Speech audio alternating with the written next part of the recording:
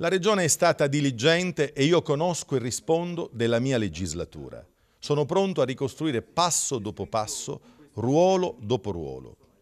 Per quanto riguarda i familiari, io fino ad oggi mi sono tenuto distinto e distante perché conosco e comprendo le reazioni, a volte incivili, pienamente comprese da me.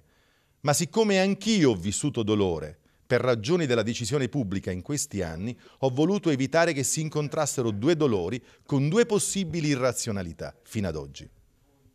Rispetto a quel dolore due condotte ci vogliono.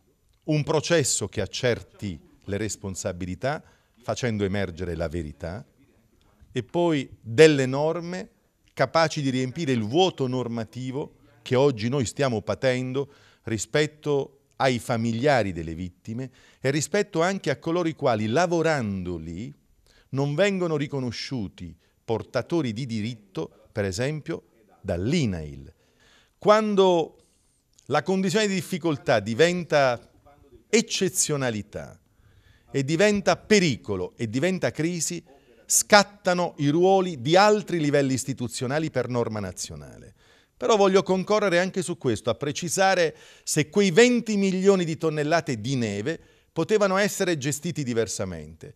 Io qui, in questa conferenza stampa, adesso rivelo la confidenza di uno dei pochi che ci capisce in tema di reazione davanti ai disastri ambientali, il generale Sergio Santamaria che mi disse si tratta di una vera e propria guerra per la quantità e la qualità della neve e per la pervasività della neve e per la pervasività delle situazioni di pericolo. Parliamo di questo se vogliamo fare approfondimento tecnico e all'insegna della verità.